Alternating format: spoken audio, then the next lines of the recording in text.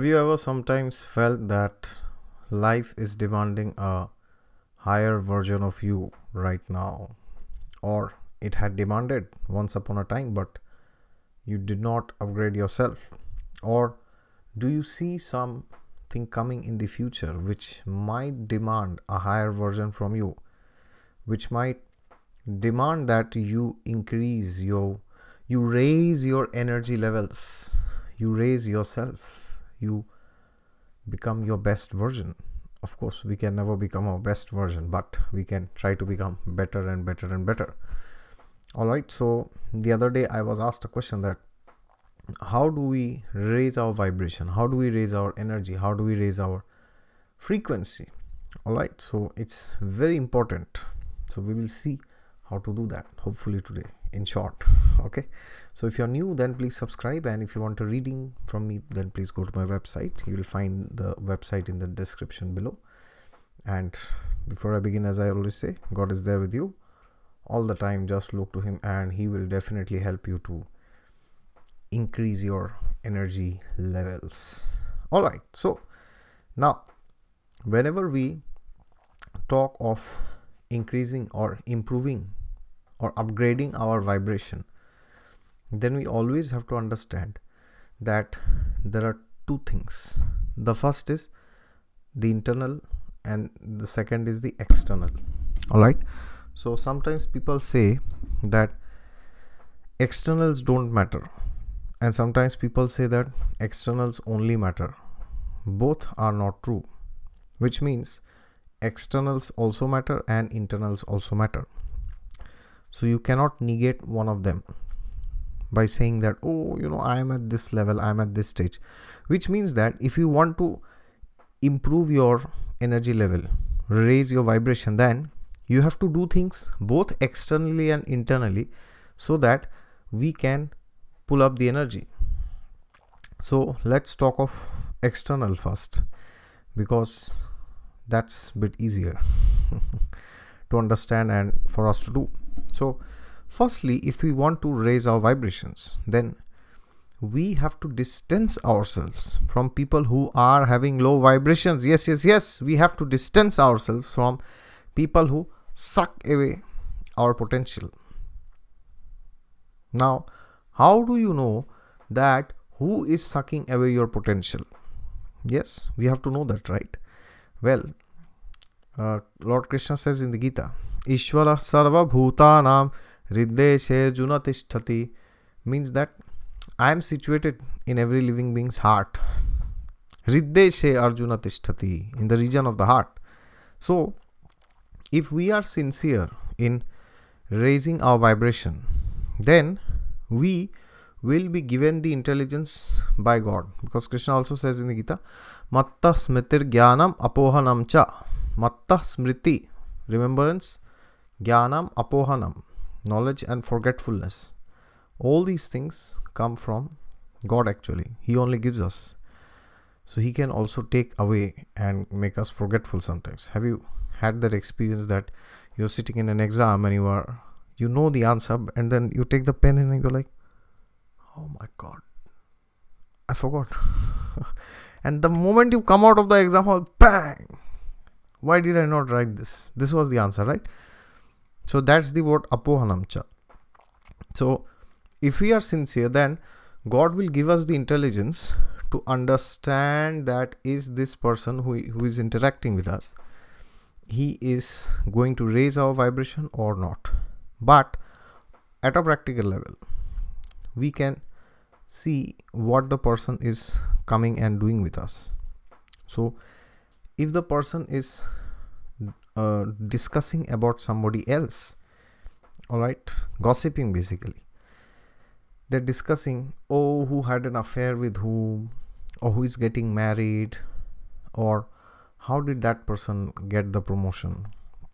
All right? He's discussing about the useless rubbish garbage of this world which means he's discussing oh who is going to win the election this time in 2019 in india? Yes? It is it going to be Rahul Gandhi or Narendra Modi or somebody else. Or he's discussing things like, okay, who is going to win in Bigg Boss? Or when is the new season of game of thrones coming out or when is the latest uh, movie of shah rukh khan coming out when is the next version of harry potter releasing all right if he's discussing such useless rubbish stuff then we got to understand that that person is going to put our vibration down. Why? Because he's going to put all the garbage inside you. All right? So for example who is going to win the election? That person will anyways win. Either you discuss or you don't. Okay? So now he will say oh maybe this party will win the election. And then you will be like oh no no no no maybe that party wins. All right and then that person will say no no no no this party did this you know that's bad this is good. That person will, will win. So you will unnecessarily get into argumentation with that person. And suppose you are planning to do something spiritual and then this person comes and tells you oh you know there's a movie of salman khan it's going to release. So then he will plant that desire in your head all right and when he does that that's it. End of the story. Suppose he comes and tells you oh you know there's a new girl out there you know, she's pretty actually. She's very cute you should check her out. All right? Or do you know ramesh is having an affair with uh, Seema, Suresh is having an affair with uh, somebody else, maybe. Yes. so then you'll also start thinking, oh wow, nice, they're having affairs. What about me? When when is the when is the time going to come when I will also have an affair? Then you'll also start flirting with girls. You'll also start going around, hooking around with girls, and then that's it. End of the story. All right. So we got to caution ourselves from these people people who come and debate on unnecessary things or rather on things which they have no control over like which party is going to form the government. I mean seriously is it under your control? Now you may say oh yes we live in a democracy our vote matters. We know that. I also know that. If that is the case go and vote properly all right? Rather than discussing uh, all these things which party should we do or what's going on basically. Then somebody talking about oh you know this new football show is coming out what will happen? Those who are playing they will be earning money. What's go- what is going to happen in your life? Are you going to be benefited by seeing football? You're simply going to waste your time. Nothing else. Nothing else is going to happen. So then what will happen is when you go on watching football when you go on watching cricket when you go on watching uh, reality shows you know in tv or in the internet or in youtube or wherever it is then you will waste 90% of your energy and time. And chanakya pandit says that a moment which is lost cannot be regained by paying an unlimited amount of money also. Yes? If you lose a moment a second that's it it's gone. So when you are distancing yourselves from these people then you will create a space for good things to come and good things to grow in your life. All right but if you're associating with somebody who is discussing about the opposite sex yes they're discussing how uh, which girl is looking like. Or suppose uh, what uh, where couples are going for their honeymoon or where couples are going to spend the night yes these kind of things. Or where they are going to drink and party they're going to goa or they're going to himachal pradesh or they're coming to paris or somewhere in berlin in germany. If they're discussing about all this or suppose who who got a job how did that person get the job? Maybe he had some contacts maybe he had a reference otherwise he can't get the job. Oh why did she get the job? Why not he? Maybe she's having an affair with the boss right? Because the boss is a, ma- a male fortunately un- or unfortunately in that company. So it's highly likely that uh, that lady who got the promotion she's having some affair or some uh, something going on with the boss. So maybe the boss is favoring her. Okay? So now the problem with all these rubbish rumors is whatever happens to that person about whom you are discussing that person's life improves or not. Irrespective of that your vibration goes down. Okay? So first of all we have to distance ourselves from these people. These people are like gar- garbage dumps. And then we also have to distance ourselves from those people who always speak negative which means there's nothing to talk positive. You meet them oh how's life? What's going on? Okay life's good oh you know my boss is terrible my wife is terrible my son is terrible my daughter is terrible my father is terrible. He's doing this he's doing that she's doing this she's doing that. How terrible it is. So of course this does not mean that everybody has to keep lying. Oh yeah my life is fantastic it's great it's mind-blowing and i am having the best life in this planet. No i'm not saying that. If there are some problems serious problems then we need to talk then we need to discuss with our friends and then find a solution. But irrespective of your problems you always have to remember that you will always have problems. You will never have a perfect relationship with your boss or with your husband with your wife with your son with your father with your daughter. That will never happen. That can happen in a imaginary world. All right but in reality that cannot happen. But if somebody whenever they meet they're discussing all this yes? How their life is the most terrible among all.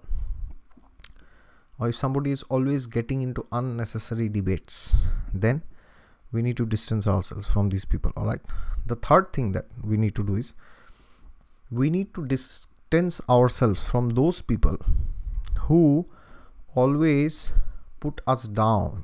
Put us down doesn't mean they insult us but whenever we want to share something about our life purpose suppose you like to sing suppose you like to go here go there do this do that.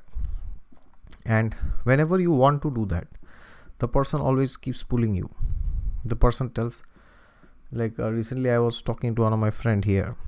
So he was telling me that uh, earlier he used to drink and from last two months around he has stopped drinking completely. So his friends who used to who he used to drink with and who also used to drink with him now from the time he has declared that i am not going to drink they have started calling him and whenever they call him they are always pushing him. They're always pulling him come come come come come come come come.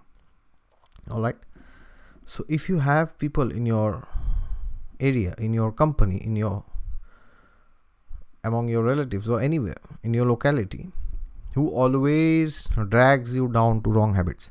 See, basically, when a person is smoking or drinking or watching pornography, why the person wants company of others? Have you ever thought? You will never find a person who is drinking milk. He will go and call 10 people. He said, Chalo yaar, aaj milk ke piyenge. Come, we will take juice together, all of us. Have you ever heard? Why? But whenever a person is smoking or drinking or doing some other sorts of nefarious activities like watching something uh, like pornography, why in the universe the person always wants company? Because when that person is doing that, deep down inside, he is totally ashamed that I am doing such a horrible act. The person knows it deep down inside. And the person also knows that I am helplessly addicted to this. But when he has 10 people around him then what happens is he gets a very strong conviction that yes these people are also doing what i am doing. So i must be doing something which is good. I must be doing something which is right. That is why you will see when a person is drinking or smoking alone he feels miserable. Yes he feels as if the world is going to collapse. But when you put him in the company of 10 people then he's ever enthusiastic. He will drink more and more and more and more and more. All right. And this is also true with people who eat meat. So, if we have friends who are coming into this category, all right, who are indulging in things like eating meat, then watching pornography or any sorts of adult material, all right, or dealing very loosely with the opposite sex, that that also comes under the same category then doing things like gambling then doing things related to intoxication all right then we need to distance ourselves from these people. Because if we do continue doing these activities then our vibration will sink down low all time low and one day we will collapse and perish. So once we have done this then the next thing we need to do is we need to understand who we are internally which means that the scriptures the vedic scriptures tell us that you are not this body you are spirit soul. All right? Lord krishna also says in the gita the same thing that you are spirit soul you are not this body you are not this body this hand leg head toe what you are thinking you are not that. You are spirit soul you are jivatma actually. So when the jivatma is in contact with is his higher potential higher potential means in contact with god to the degree to that extent he is in contact with to that degree his vibration will be higher. Which means that we need to ensure that we have a lifestyle which is primarily composed of the mode of goodness sattva guna. All right otherwise if our activities are primarily concerned uh, in the areas of rajogun and tamogun then we are doomed to fall. Which means that one of the most important things is that we need to get up early in the morning. Now somebody may say that oh why are you stressing up that we need to get early in, get up early in the morning? We can get up at 2 o'clock in the afternoon also and do things. Well you can do that. But when you get up early you must sleep early right? So when you are sleeping early then what happens? As soon as the mode of ignorance is becoming more and more strong you are going down to sleep. And then as soon as Sattva is awake which starts from the Brahma Muhurat Brahma Muhurat is nearly around one and a half hours before sunrise. Alright so if the sunrise is at 6 then near about 4.30 they say the Brahma Muhurat starts. And that's the most potent time to do any spiritual practice apart from some mantras which you should do in the evening of course. But that's not the point here. The point here is that we need to put ourselves in an environment where we can cultivate satoguna externally. All right? So for that we have to sleep early. We cannot keep seeing useless debate shows. Yes? Like people see debate shows in television at 9 o'clock. My god and they're going to sleep at 10 and they think they will get sleep they watch things like Bigg Boss and then there are ladies who send me messages in whatsapp and facebook. And by email they say that oh we are having uh, quarrels with our mother-in-law you know. They also send message that uh, we are having quarrels with our daughter-in-law. Well if you are indulging in politics when you are seeing all this nonsense then what do you think? Because the gigo principle works. Garbage in garbage out. Should i repeat? Garbage in garbage out if you are seeing things where they show how to pull somebody down how to celebrate the downfall of others then that's what you end up doing. Yes? And then you become extremely selfish. You are extremely desensitized from your surroundings. Have you seen people doing things uh, without even considering how others will feel? So when we watch all these things then we will also end up doing all this. All right so we need to ensure that we do not aggravate our mind before we sleep because then we cannot go to sleep. There are many levels of sleep two levels three levels. If you are just hovering around while sleeping then we do not reach to the level of sleep which is actually required. Then we are actually not sleeping. And one of the symptoms of this is that you do not get sleep as soon as you sleep start sleeping. As soon as doesn't mean that in 10 seconds but they say that when you go to sleep within 2 minutes you should get sleep. All right? That's the first symptom. And the other symptom is if you get dreams. Dreams you are getting it means that your mind is hyper. Your mind is like going here going there. It wants this it wants that. If that is happening you are getting dreams that means during the day your mind was hyper that is why you will always see when you had a good day you will have a good sleep. And when you had a terrible day you will have a terrible sleep. All right so do not unnecessarily aggravate your mind by discussing things before sleeping. Like some very heated topic some very heated debate. Ideally you should never do it but at least before you sleep don't do it. So then you can get up early in the morning. As soon as you get up you need to fresh up yourself. All right it's best if you can take a bath in cold water unless you have some health problems of course. And then we can read one one sloka from the scriptures every day morning. That is like hammering the mind. Yes this is right. I need to do this. I should do this. And then we also need to chant mantras all right? And we can also sing bhajans in the morning if that's possible depending on your time. And then we need to ensure that we are eating vegetarian food which is preferably cooked that day only. All right which means that it is best if you can avoid things which have been cooked earlier like yesterday's cooked food. It is not good to eat that. All right to whatever extent possible try to avoid it. And then when you are going to your company or to your office or business then you need to realize that when you're putting earplugs if you are hearing uh, fantasy songs of movies or hatred so many things are there these days right? Then you are programming your brain in the initial hours of the morning to behave like that throughout the day. So uh, you can put lectures of spiritual gurus.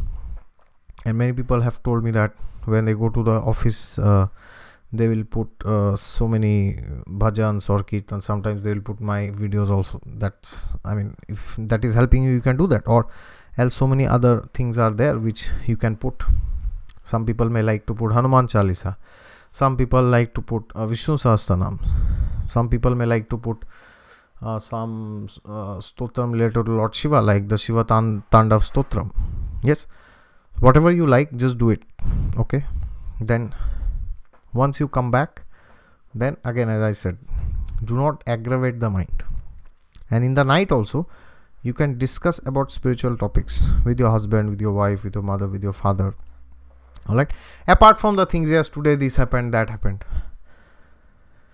rather than wasting time 45 minutes with your wife oh how terrible my day was today because when you're discussing that maybe you are uh, you are feeling happy because now you are releasing the burden.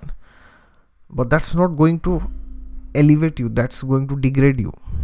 Okay so you can talk 5 minutes that's fine you are allowed to say to your partner or to your father or mother if there was something terrible which happened. But along with that we also have to ensure that we give positive inputs okay? So we can read one sloka from the gita or from the bhagavatam once we reach back. That's fantastic and when we do that then our sleep will be proper all right and we should avoid eating too much in the night because that will create disturbance in the stomach. That doesn't mean that you will go to the toilet in the night if you eat too much. Necessarily it can happen or it may not happen but it creates a lot of distress inside inside the system. Yes there are people who will go to restaurants like barbecue nation in india where they will pay sometimes more than 1000 rupees. And they will eat a buffet of 40 items or 50 items yes. 20 desserts 20 varieties of meat. My god if you are eating all this and then how will you raise your vibration? Okay. And then just before you sleep you should do something which you like which means suppose you like to write then you should write you like to make youtube videos. You should do that. You like to cook. Then just take something and cook. You may not eat it. It may not be that great but if you like to cook you should cook it. If you like to paint then you should paint. If you like to sing then you should sing. If you like to whatever you like. If you like to play some sports that also you can do. All right that you can do what whatever whatever you feel good whatever your hobbies are whatever your talents are. Or you can also learn something spiritual. You can do some spiritual courses. All right and the this is the schedule for the weekdays. And in the weekends you can try to visit spiritual centers spiritual retreats. Okay? There you can go and associate with sadhus with gurus. And then you can see if you can take guidance and inspiration from them. And then when you are having holidays instead of wasting time by going to places like no examples. We can try to visit uh, holy places. We can try to visit uh, vrindavan haridwar. We can visit kanchipuram. We can visit Mathura, you can visit Varanasi, you can visit Badrinath, wherever you are in the east, then you can visit Jagannath Puri, you can visit Alarnath, you can, uh, if you are in south, you can visit Srirangam, then Hampi, these are the places that are hundreds and thousands and millions of places in India, my god. So these places we can visit, and when we visit there, we should uh, do some austerities like fasting or doing more meditation, more pranayam, all these things we can do there. And we need to understand which what is the importance of that place like every place has some specific importance for example uh, Srirangam Srirangam Jagannath Puri and Tirumala Tirumala is known as uh, Pushpa Mandap Pushpa Mandap means uh, Lord Balaji Venkatesh he is decorated with uh, garlands of flowers Pushpa Pushpa is flowers so that's the way worship is done there. Srirangam, they say is Bhogamandap, which means you take prasad. Jagannath Puri is also known as Bhogamandap, where the more you take prasad, the more you advance spiritually. And then Kanchipuram is known as Tapamandap. Tapamandap means where you do more tapasya, more austerity. So every place has its own significance. Like as I made a video about Tirupati, then you can go and visit the Anantacharya's garden, which is there. So you can know the story of Anantacharya, of who he was, alright, and how that garden came into existence, how Lord Vishnu took the form of that boy. Yes, and now even now he's bleeding. If you go there, if you go to Tirumala, you can see. So that's how we have to raise our vibration. Okay. And then gradually, gradually, gradually, gradually, what happened? We will also meet other people who are also like us. Because remember, your vibe attracts your tribe. Should I repeat? Your vibe attracts your tribe your the average of five people with whom you stay they will decide who you become and at the end we need to associate with friends who encourage us all right that we will always have to do. And if we are having any particular talent then we need to associate ourselves with a community where people having that talent are also uh, encouraging encouraging each other. Okay suppose you have talent in astrology then you can go and join some astrological center like in india we have Bharatiya Vidya Bhavan, that you can do. We have icas these these places are there you can go and join there if you want to learn. All right so that these are the things which i wanted to say. So externally you do that go to places where you feel encouraged distance yourself from people who discourage you who pull you down who pull you into negative things all right and internally you have to uh, understand you have to read the scriptures and you have to have this firm conviction that yes this is my life purpose i have to do this. Read the scriptures every day morning and every day night. By that you will have clarity in life. And when you have that clarity you will be able to understand that what do i need to do where do i need to do when do i need to do how do i need to do and how much do i need to do. These things you will understand. Okay? There you go. How to raise your vibration. It's been a long video. If you're new then subscribe. And if you liked it then press the thumbs up and share it with somebody who is wanting to know how to get their vibration up okay? And if you want a consultation then please go to the link down in the description. Okay god is there with you all the time. Just look to him and you will find him. Bye bye see you